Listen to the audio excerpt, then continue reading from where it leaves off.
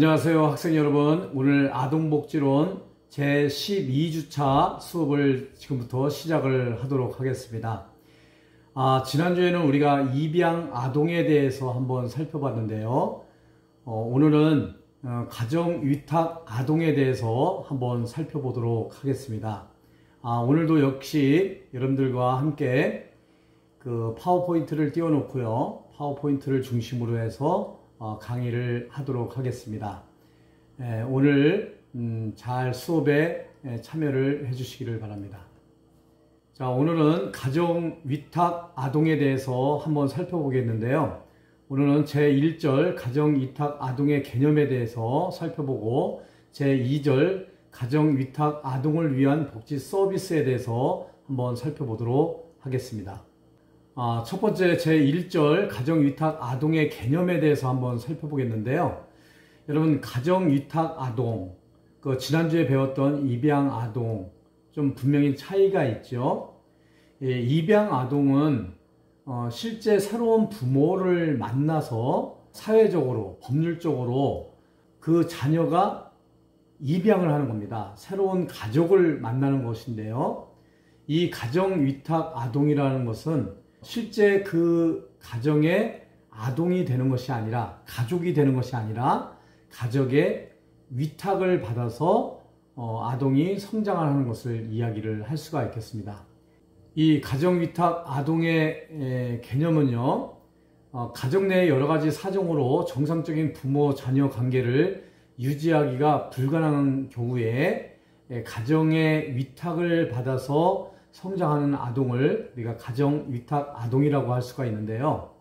1960년대 시설의 많은 부작용으로 인해서 탈시설 운동이 대두가 되었고 위탁보호 사업이 장려되는 그런 분위기 속에서 가정 위탁 사업이 시작을 하게 되었습니다. 통상적으로 고아가 발생이 되면 시설에 이제 입소를 하게 되는데요.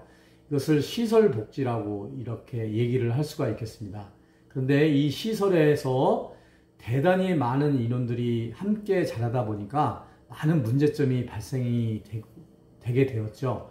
그래서 이때부터 어, 어, 운동이 벌어졌던 것이 시설을 탈피하자 아, 하면서 탈시설 운동이 전개가 되었죠. 그러면서 위탁 보호 사업이 장려되는 그런 분위기가 되었다고 할 수가 있겠습니다. 아동이 자기 가정에서 양육될 수 없을 때 입양이 바람직하지도 않고 불가능할 경우 타 가정에서 일정한 계획된 기간 동안 보호와 양육을 받는 대리 보호를 받는 것을 우리가 가정 위탁이다라고 할 수가 있겠습니다. 이 가정 위탁은요, 하루 24시간 내내 친부모가 아닌 다른 부모의 가정에 의해서 대리 보호를 받는 여러 종류의 양육이 있을 수가 있습니다. 그래서 이 가정위탁 어, 아동들은요, 가족의 붕괴나 결손가정, 어, 이혼이나 사망이나 별거, 또 질병, 사업, 투옥 등으로 인해서 아동 양육이 어려울 때 부모의 문제, 알코올 중독이나 약물 중독, 정신질환 등 이런 아, 부모의 문제나 아동의 문제, 예를 들어서 정서적인 문제, 행동상의 문제 등이 있을 때 또 아동이 유기나 학대 위험이 있을 때 주로 가정위탁 아동으로서 어, 보호를 받을 수가 있겠습니다. 이와 관련된 복지법은요, 아동복지법, 국민기초생활보장법, 의료급여법 등이 이 가정위탁 아동과 관련된 뒷받침하는 그런 법이라고 할 수가 있겠습니다. 가정 위탁 사업의 영역을 보면요. 2017년 아동 분야 사업 안내를 근거로 해서 말씀을 드리면 1990년도에 가정 위탁 사업이 시범 실시되었습니다. 2000년부터 2002년까지 가정 위탁 지원 센터가 시범 운영이 되었습니다. 강원도에서 이게 시범 운영이 되었죠.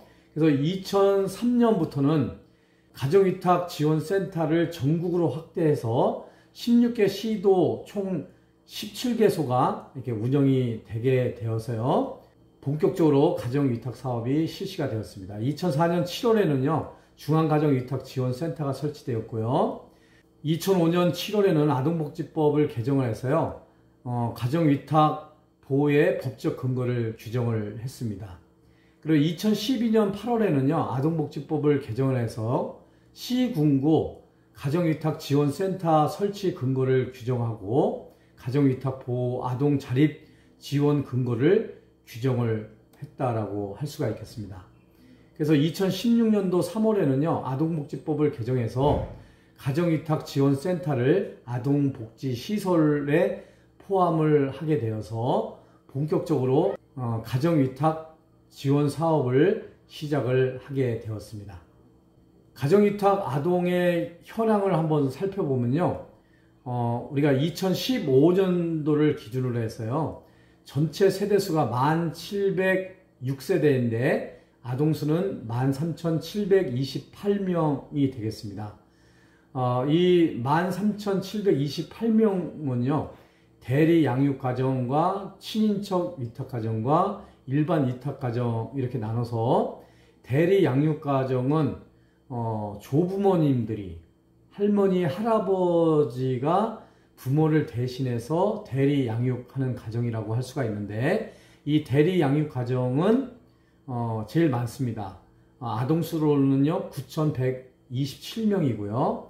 친인척 위탁 가정은요, 뭐, 이모나 고모나, 어, 친인척이 예, 그 아동을 위탁하는 것을 친인척 위탁 가정이라고 하는데, 어, 아동 수로는 한 3,556명이 예, 되겠습니다. 그리고 일반 위탁 가정은요, 어, 전혀, 어, 할머니, 할아버지도 아니고, 뭐, 이모, 고모, 뭐 작은 아버지, 작은 어머니도 아닌 전혀 관계가 없는 일반 위탁 가정은요, 어, 아동 수로는 1045명 정도가 되겠습니다. 그래서 이 가정 위탁 아동의 현황을 보면 전체적으로 대리 양육 가정이 가장 많고요. 그 다음에 친인척 위탁 가정이 그 다음이고요. 일반 위탁 가정으로 이렇게 이루어지고 있다라고 볼 수가 있겠습니다. 발생 유형별로 요보 아동 현황을 보면요. 2016년도를 기준으로 해서 한번 살펴보면요. 어, 빈곤이나 실직, 학대 등으로 어, 아동이 총 4,592명 중에 빈곤, 실직, 학대 등으로 어, 3,148명이고요. 비행 가출 불황으로 인해서 발생되는 요보 아동이 314명이고요. 미혼모, 미혼부로 인한 어, 요보 아동은요, 856명이고요. 기아, 아, 이렇게 굶주리는 아동을 얘기를 하죠. 기아일 경우에는 264명, 그 미아, 어, 잃어버린 아이지죠. 어, 잃어버린 아이를 얘기를 하죠. 미아일 경우는 10명 정도가 되겠습니다. 그래서 전체적으로 어, 발생 유형별 요보 아동 현황을 보면요. 어, 빈곤이나 실직, 학대 등으로 발생되는 인원이 어, 절대적으로 3,148명으로 어, 많이 차지하고 있음을 어, 볼 수가 있겠습니다. 자, 요보 아동 발생 및 조치 현황으로요. 우리가 요보 아동이 어, 보호가 필요한 아동을 요보 아동이라고 얘기를 하죠. 이 요보 아동이 발생이 되면 우리가 조치를 할 수 있는 것이 시설에 입소할 수 있는 방법과 가정의 보호를 받을 수 있는 방법 두 가지가 있는데요. 이 시설 입소에는요, 양육시설에 입소를 하게 됩니다. 이 양육시설은 우리가, 어, 일명 예전에는 고아원이라고 얘기를 했죠. 근데 지금은 어, 보육원이다라고 이렇게 얘기를 합니다. 뭐 소망 보육원, 뭐 희망 보육원 이렇게 얘기를 하는데 이 보육원 예전에 고아원을 우리가 양육시설이라고 얘기를 하는데요. 이 양육시설에 입소하는 경우가 제일 많이 있습니다. 그래서 1736명, 38.8%를 차지를 하고 있고, 있고요. 일시보호 시설에 입소하는 경우가 있는데 541명의 11.78% 정도가 되고요. 장애 아동 시설에 입소하는 경우가 있는데 12명 정도가 되겠습니다. 공동생활 가정에 입소하는 경우가 있는데 605명으로 아, 13.18%를 차지하고 있습니다. 이 가정 보호는 소년 소녀 가정 또 입양 가정 이탁 이렇게 세 개로 어, 분류를 할 수가 있는데요. 소년 소녀 가정은 2008년도에는 2.36%였는데요.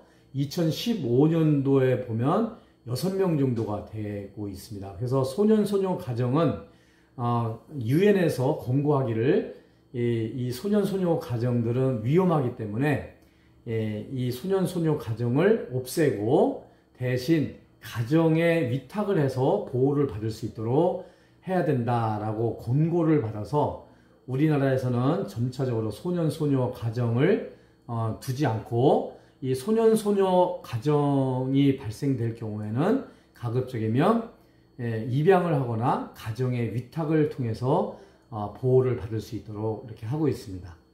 그래서 가정 보호의 두 번째 입양인데요. 입양은 243명 5.29%고요. 어, 입양보다는 우리가 중간 단계의 가정 위탁을 통해서 이렇게 하고 있는데 대리 양육 위탁 같은 경우는 어, 1024명, 22.3%에 해당되고요. 친인척 및 일반일 경우에는 어, 425명으로 9.26% 정도를 차지하고 있어서요. 이, 이 가정보호는 어, 월등하게 예, 가정 위탁을 통해서 보호를 하고 있다라고 말씀을 드릴 수가 있겠습니다. 자, 우리 다음으로요, 우리 가정 위탁의 종류를 한번 살펴보면요. 첫 번째가 가정 위탁은 무료 위탁이 있습니다. 위탁 양육료를 받지 않고 아동을 보호 양육하는 것을 무료 위탁이라고 하고요. 두 번째는 고용 위탁이 있는데요. 이 고용 위탁은 옛날에 도제제도처럼 보호받는 아동이 노동력을 제공하는 것을 고용위탁이라고 이야기를 합니다. 이 도제라는 것은 뭐냐면 견습생이에요. 그래서 어, 이 어떤 공장이나 어, 이런 회사에 들어가서 어, 먹고 자고 어, 입는 것을 이렇게 대신 어, 그 공장에서 어, 주고 거기서 노동력을 제공하면서 기술을 배울 수 있도록 하는 그래서 고용을 통한 아, 보호, 를 한다라고 해서 고용 위탁이라고 할 수가 있겠습니다. 그 다음에 세 번째는요, 집단 위탁 가정인데요. 같은 성의 아이들을 4 내지 12명으로 구성해서 한 가정에서 보호 양육하는 것으로 작은 시설 혹은 확대된 가정과 같은 형태를 유지하는 것을 집단 위탁 가정이다라고 할 수가 있겠습니다. 여기에 해당되는 것이 그룹홈 같은 경우가 여기에 해당될 수가 있겠죠. 자, 그래서 가정 위탁의 종류에는요, 무료 위탁, 고용 위탁, 집단 위탁 가정 이렇게 세 가지의 가정 위탁의 종류가 있다라고 말씀을 드리겠습니다. 자, 다음은요, 어, 우리 가정 위탁을 하는 데 있어서 어, 원칙이 있는데요. 이 원칙 6가지를 한번 살펴보도록 하겠습니다. 이 가정 위탁을 할 때 원칙 어, 첫 번째는요. 아동 중심의 원칙입니다. 아동의 건전한 인격 형성을 최우선적으로 고려해야 된다라는 것이고요. 두 번째는 가족 보존의 원칙입니다.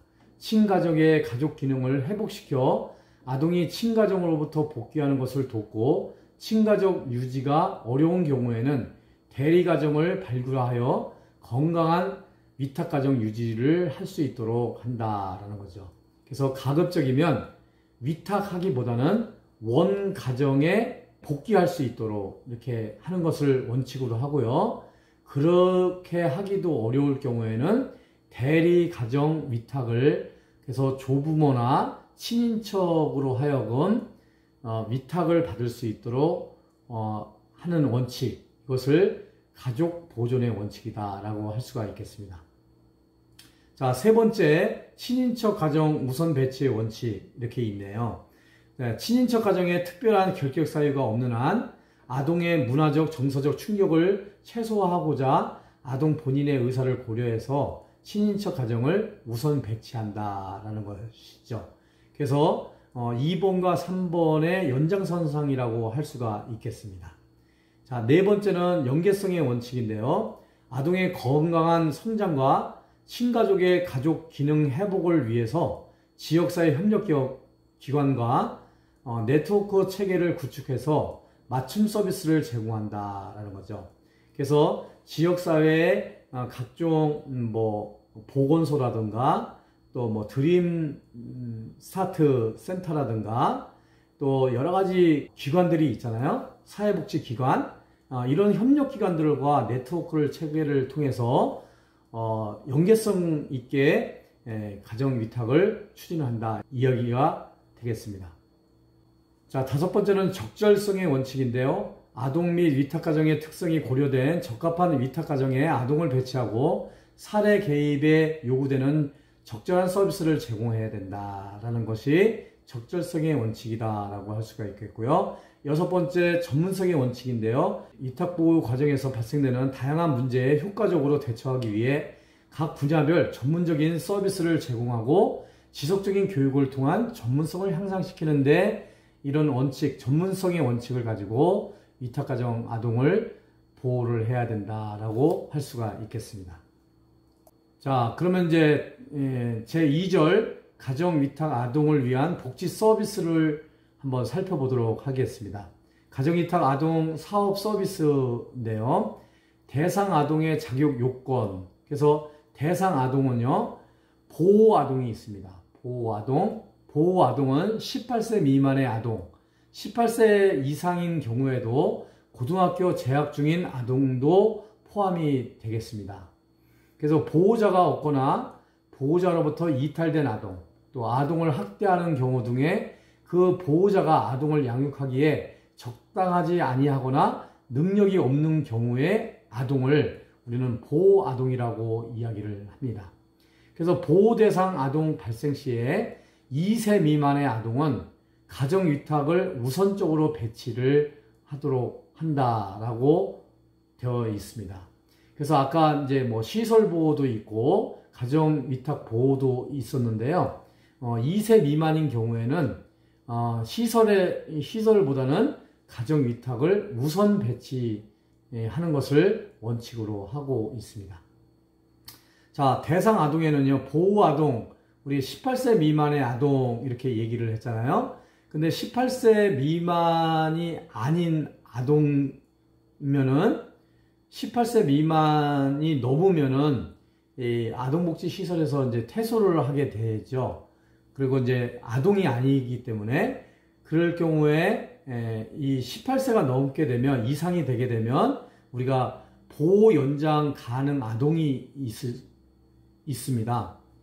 보호 조치 중인 18세 이상의 아동 중에 다음 요건에 해당하면은 어, 위탁보호 기간 연장이 가능하게 되어 있어요. 아동복지법 제16조에 의하면 그래서 이 표에 의하면 보호 연장 가능 아동에 대해서 이 각 법별로 이렇게 어, 제시가 되어 있으니까요. 어, 이 표를 참고를 하시면 만 18세 이상이 되더라도 보호를 받을 수가 있다라고 할 수가 있겠습니다. 그러니까 보호 연장이 가능하게 되겠습니다. 이 예, 표를 참조하시기를 바라겠습니다.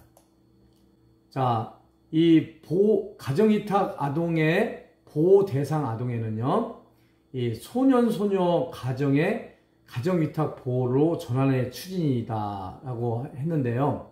아까도 얘기를 했지만 아동에게 위험을 초래할 수 있어서 소년, 소녀 가정은요, 유엔 등에서 폐지를 권고를 했습니다. 그래서 이 소년, 소녀 가정이 발생이 될 경우에는 가정 위탁 보호로 전환을 하도록 되어 있습니다. 그래서 어, 옛날에는 소년, 소녀 가정 그래가지고 예, 많은 이제 사회적인 그런 아, 보호를 요청을 하고 또 문제를 야기를 했는데요. 이제는 소년, 소녀 가정일 경우에는 가족 위탁 보호로 전환할 수 있도록 하고 있으니까요. 여러분들이 참고를 하시고요. 소년, 소녀 가정에 지원되었던 결연이나 학자금 대여, 또 대학 특례 입학, 또 장학금 등과 각종 지원이 중단되지 않도록 하고 있기 때문에요.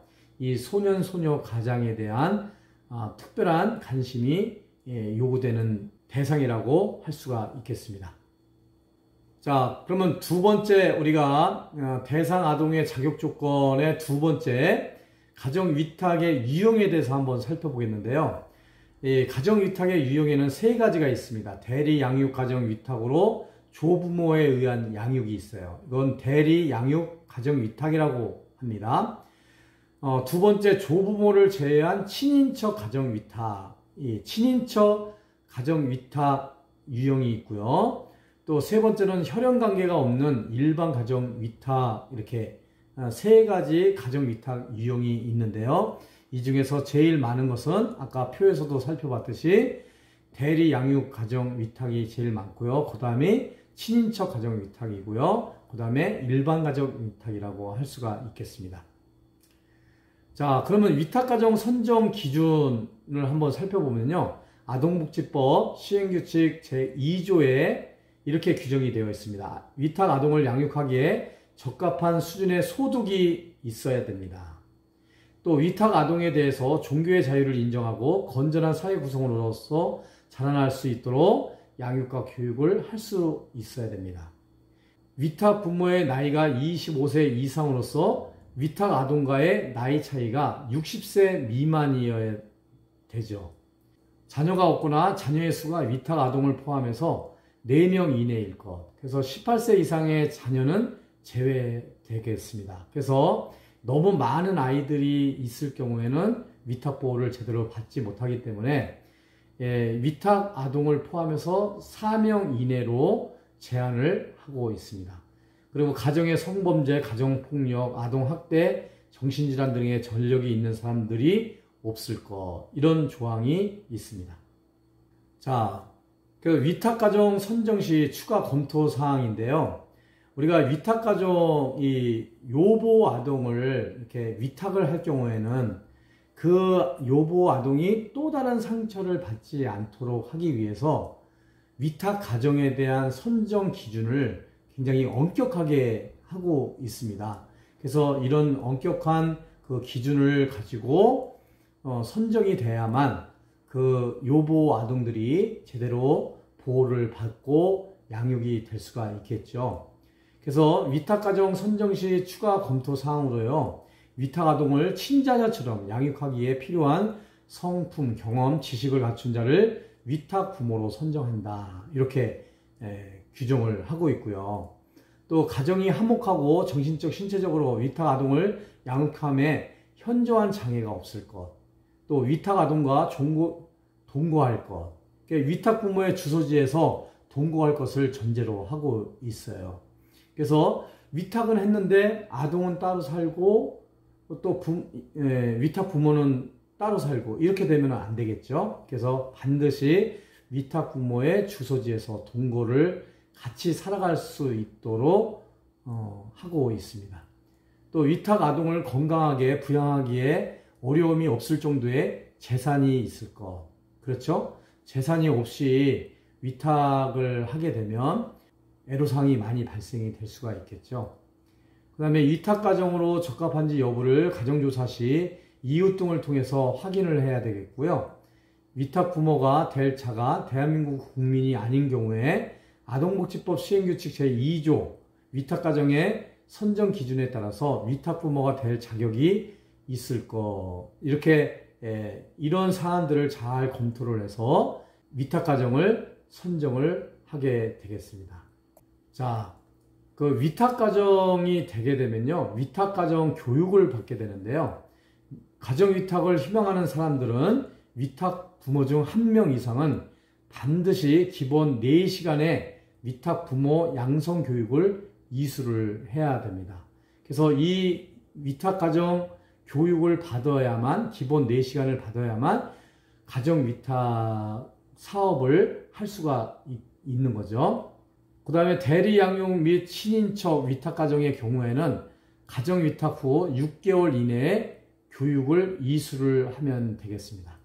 가정 위탁을 하고 있는 일반 위탁 부모, 대리 양육 및 친인척 위탁 부모는 반드시 매년 4시간 이상의 보수 교육을 이수를 받아야 됩니다. 그래서 어, 위탁 가정 교육을 통해서 요보 아동들을 잘 보호를 하고 양육을 할 수 있도록 이렇게 위탁가정 교육을 반드시 받을 수 있도록 하고 있습니다. 이번에는요, 어, 가정위탁 유형별 선정 절차를 한번 살펴보겠는데요. 먼저 대리 양육 또는 친인척 위탁을 한번 살펴보겠습니다. 어, 아동을 위탁하여 양육하고자 하는 조부모, 그러니까 할머니, 할아버지를 얘기하죠. 또는 친인척은 아동의 거주지를 관할하는 시군구 또는 읍면동에 가정위탁 보호, 대리 양육 신청서를 작성해서 제출을 하게 되고요. 조부모 또는 친인척 위탁 부모에 대한 범죄 경력 조회를 실시를 한 후에 아, 별 문제가 없게 되면 가정위탁 보호를 결정 후에 해당 가정위탁 지원센터에서 통보를 하게 되면 어, 대리 양육 및 친인척 위탁을 할 수가 있게 되겠습니다. 어, 일반 가정 위탁은요, 읍면동에서는 보호 대상 아동이 발생이 되면요, 어, 아동과 그 가정을 조사를 하고요, 대리 양육, 친인척 양육이 예, 가능한지 안 가능한지를 먼저 살펴보고요. 만약에 가능하게 되면 대리 양육 또 친인척 양육을 할 수 있도록 우선권을 주게 되고요. 불가능할 경우에는 시군구에서 일반 가정 위탁을 의뢰를 하게 됩니다. 그러면 시군구에서는요, 위탁 아동 거주지에서 어, 지역 가정 위탁 지원센터에 아동과 관련된 서류를 첨부를 해가지고요, 위탁 가정 발굴을 의뢰를 하게 되는데요. 이 의뢰를 하게 되면 어, 일반 가정 위탁 심의를 거쳐서 어, 적합하면은 선정이 되겠습니다. 그래서 가정위탁 지원센터에서는 가정위탁 보호 의뢰된 아동에 대한 적합한 위탁 가정을 선정을 하게 되겠습니다. 그래서 읍면동에서 어, 보호대상 아동이 발생되게 되면 그 보호대상 아동을 위탁 부모, 위탁 가정하고 연결해 주는 역할을 하는 것이 어, 지역 가정 위탁 지원 센터라고 할 수가 있겠죠. 자, 위탁 가정을 이제 선정이 되게 되면요. 위탁 가정을 사례 관리를 하게 됩니다. 아동 발생 소재지 시군구는 아동 카드를 세 부를 작성을 해서요. 한 분은 위탁 부모가, 한 분은 가정 위탁 지원 센터에서, 한 분은 자치단체에서 비치를 하고요. 가정 위탁 지원 센터에서는 아동을 위탁가정으로 배치하고 관할 행정기관과 협조해서 위탁 아동과 위탁 가정을 사례를 관리를 하게 됩니다. 그래서 서로 보건소와 지역 가정위탁 지원센터와 또 예, 동주민센터와 지역사회 복지센터와 함께 사례관리 팀을 구성을 해서 이런 이제 위탁 가정을 사례를 관리를 할 수 있도록 해서 아이들이 잘 성장할 수 있도록 하고 있죠. 자, 네 번째 가정 위탁 보호 종결인데요. 친가족 복귀 및 위탁 종결입니다. 보호 아동의 보호자가 직접 아동을 양육을 하려는 경우에 위탁, 가정 위탁, 가정위탁 보호가 종결이 되겠습니다. 그 지난주에 우리가 입양 아동에 대해서 배웠잖아요. 입양 아동은 친부모가 양부모로 모든 권한과 권리를 어, 다 위임하는 것을 우리가 입양 아동이다라고 얘기를 했잖아요. 근데 이 가정 위탁 보호는요, 어, 다시 종결이 될 수가 있습니다. 아, 보호 아동의 보호자가 직접 그 아동을 양육을 하려고 할 경우에 종결이 되겠죠. 그리고 보호 대상 아동이 18세 이상이 되면 보호 조치가 종료가 되겠습니다. 이럴 경우에는 우리가 가정위탁 보호가 종결된다라고 할 수가 있겠습니다. 자, 다섯 번째요. 어, 가정위탁 종결 기간을 연장할 수가 있는데요. 아까도 어, 말씀을 드렸죠. 보호조 치 중인 보호 대상 아동이 18세 이상이 되면 보호 조치를 종료를 하여야 하지만 아동복지법 제16조 2항에 따라서 보호 기간 연장이 가능하겠습니다. 그래서 아까 그 표를 보여드렸죠. 그래서 그 표를 참고를 하시면 되겠고요. 자, 이 표를 한번 참고를 하시면 되겠습니다. 우리가 가정위탁 보호를 신청을 하게 되면 읍면동에서는 이런 역할들을 하고요. 시군구에서는 이런 역할들을 하게 됩니다.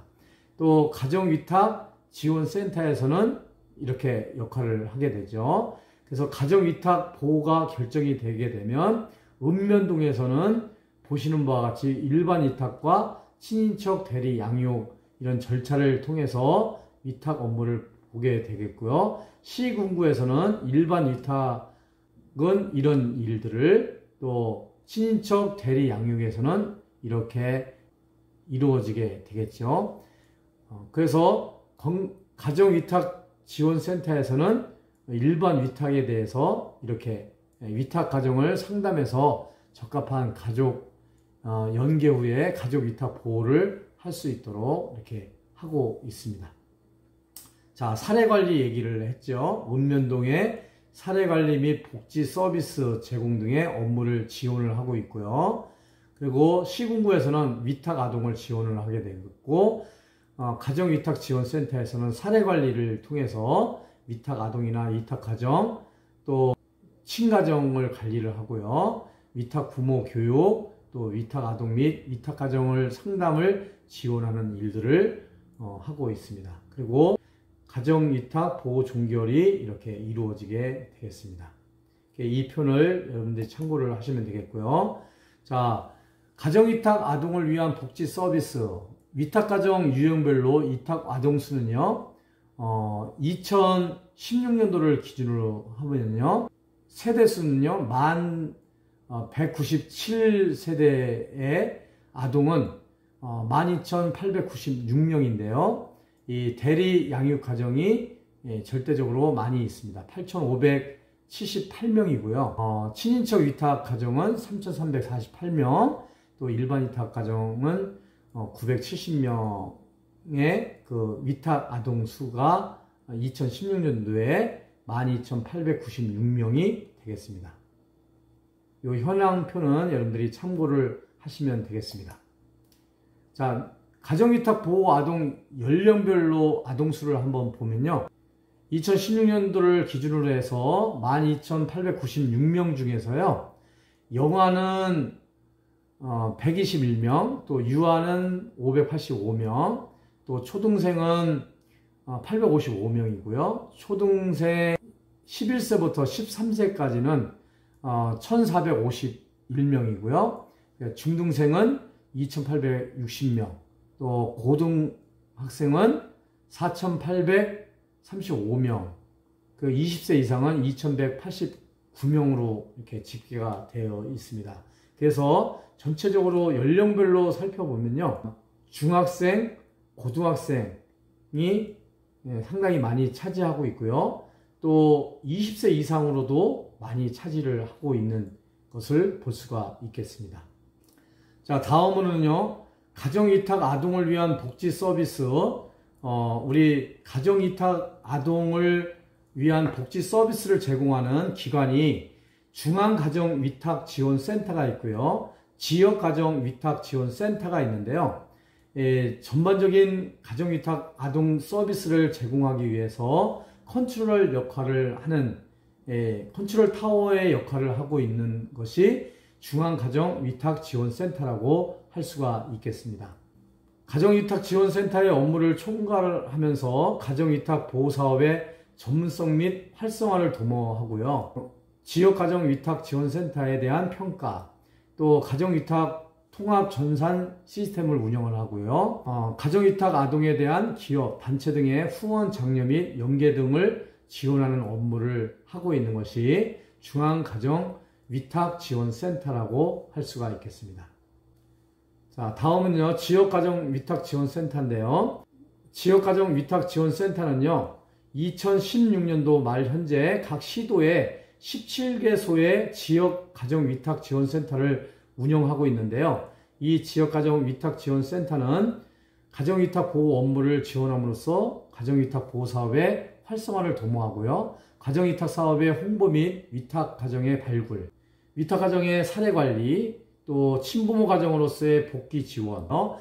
관할 구역의 가정 위탁 아동에 대한 지역사회의 후원 장려 및 연계 사항을 가정 위탁 지원 센터에서 이런 업무를 담당을 하고 있습니다. 자, 가정 위탁 아동 및 가정 지원 내용을 한번 살펴보면요. 첫 번째가 경제적 지원인데요. 어, 양육 보조금을 지원을 하고 있습니다. 또 국민기초생활보장법에 의해서 생계비 등을 지원을 하고 있고요. 가정위탁 아동에 대해서는 자립지원 정착금을 지원을 하고 있어요. 또 가정위탁 아동에 대해서는 대학 진학 자금 등의 지원을 권고하고 있습니다. 가정위탁 아동의 상해 보험료를 지원하고 있고요. 가정위탁 아동의 심리치료 지원을 하고 있습니다.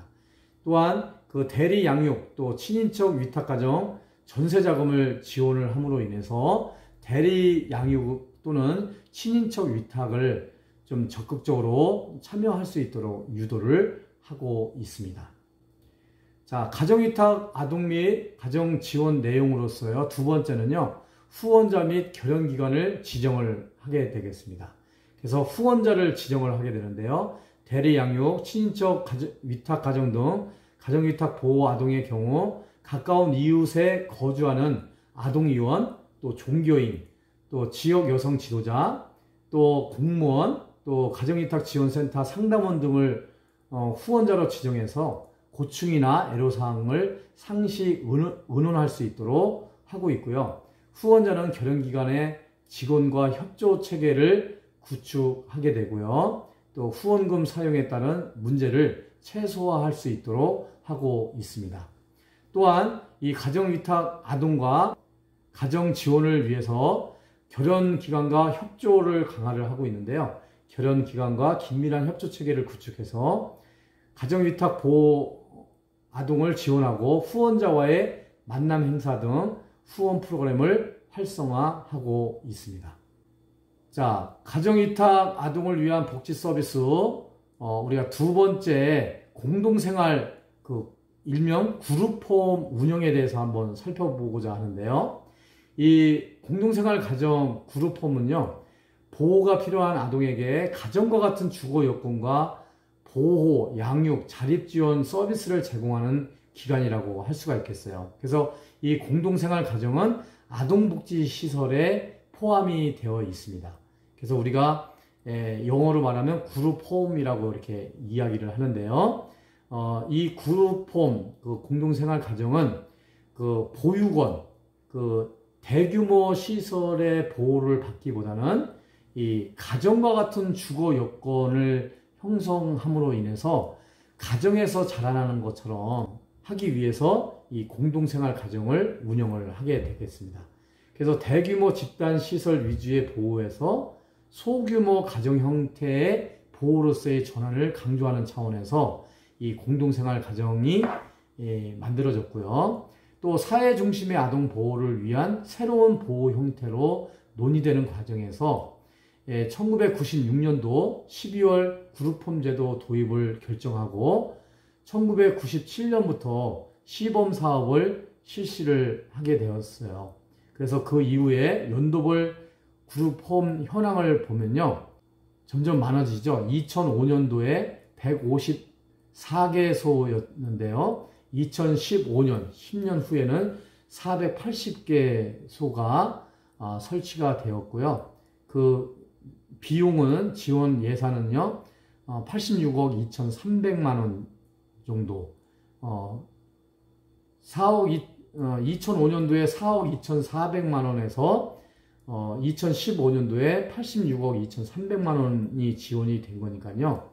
이 인건비나 운영비를 통해서 시설이 예, 많아지는 것만큼 또 이렇게 어, 지원 예산도 많아지게 됐죠. 그래서 이런 공동생활 가정을 활성화시키고 있죠. 그러니까 여러분들 그 주변에 보면 이 공동생활 가정 이렇게 뭐 티나지는 않지만 예전에는 이제 뭐 보육원 같은 경우는 저기 먼 데다가 이렇게 인적이 드문 곳에다가 이제 보육원, 고아원을 이렇게 설치를 했죠. 근데 이제 이 공동생활 가정, 그룹홈 같은 경우는요, 우리 주택가 안에 더불어 사는 그런 사회를 만든다는 차원에서 주택가에 일반 사람들과 함께 어우러져서 살 수 있도록요. 그 소규모 이제 뭐 빌라라든가 어, 단독주택이라든가 또 어, 때로는 아파트를 이용해서 공동생활 가정을 운영을 하기도 합니다. 이 공동생활 가정은요 어, 두 가지로 나눌 수가 있는데요. 남녀 분리형 그룹홈이 있고요. 남녀 혼합형 그룹홈이 있습니다. 그래서 아동복지법 제50조 규정에 의해서 신고한 공동생활 가정을 지원을 하게 되겠습니다. 그래서 입소 아동별 지원 기준인데요. 5인 이상 4인, 3인까지는 전액을 다 지급을 하고 있습니다. 이 표를 참고를 하시면 되겠고요.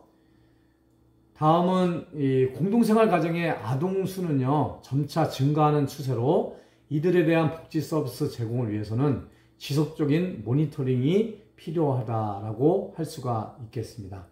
그래서 공동생활 가정의 시설수 및 보호 아동 현황을 한번 살펴보면요.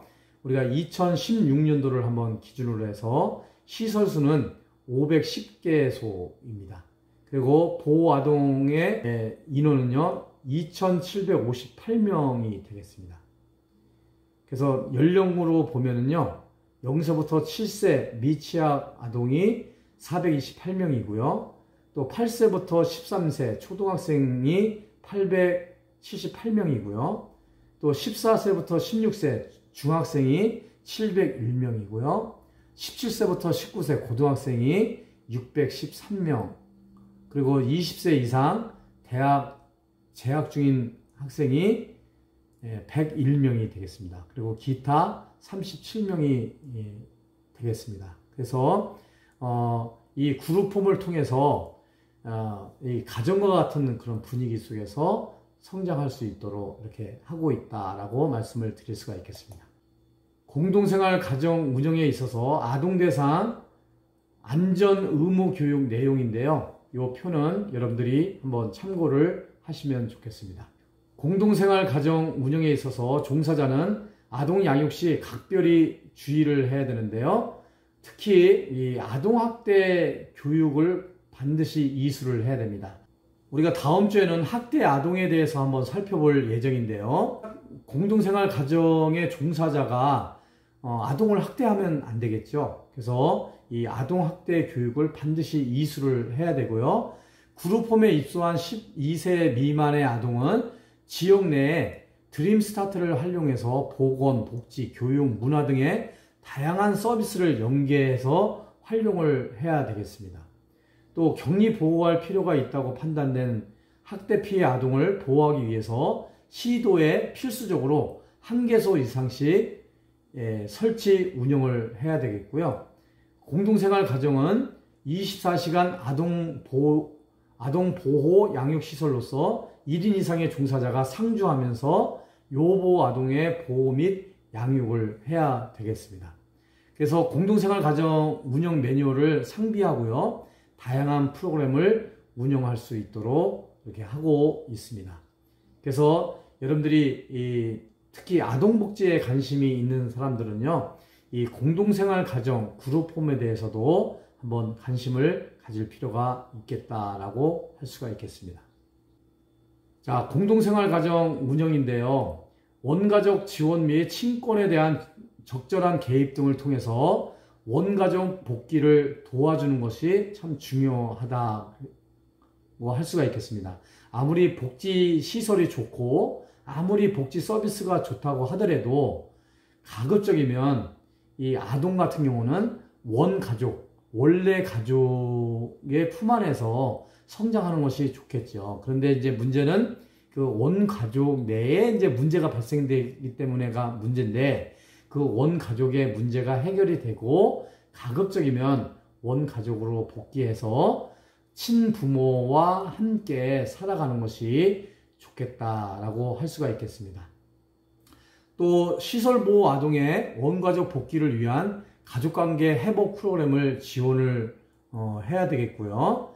가정 내에서 아동의 보호가 불가능하거나 부모로부터 아동을 분리하는 것이 아동에게 최선의 이익이라고 판단될 때는 아동복지법에 근거해서 가정위탁 및 아동복지시설 이용 등의 다양한 보호 조치가 있어야 되겠습니다.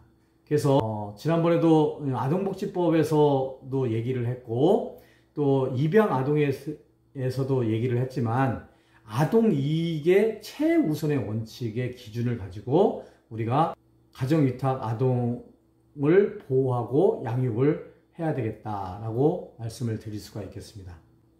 다음으로 그 대리 양육 또는 가정 위탁 또 아동복지 시설의 보호 아동을 국민기초생활보장제도에 따른 수급자로 인정을 하고 있습니다.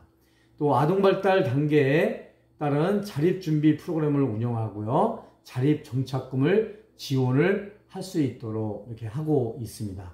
그래서 어, 여러분들께 누누이 말씀을 드리지만 아동의 기준은 만 18세 미만이죠. 18세 이상이 되게 되면 이제 아동이 아니고 이제 성인으로서 이렇게 성장을 하게 되고 이제 뭐 보육원이든 어, 이 가정 위탁이든 간에 예, 독립을 해서 자립을 해야 되거든요.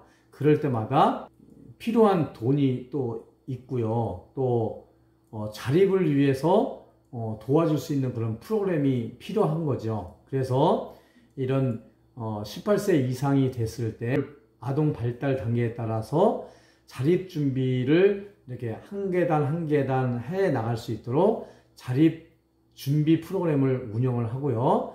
또 꾸준히 자립을 할 수 있도록 자립 정착금을 어, 지원을 해서 성인이 돼서도 스스로 독립하고 자립할 수 있는 그런 가정 위탁 아동 그런 어, 요보 아동 보호 및 양육이 되어야 되지 않을까 이렇게 생각이 되겠습니다.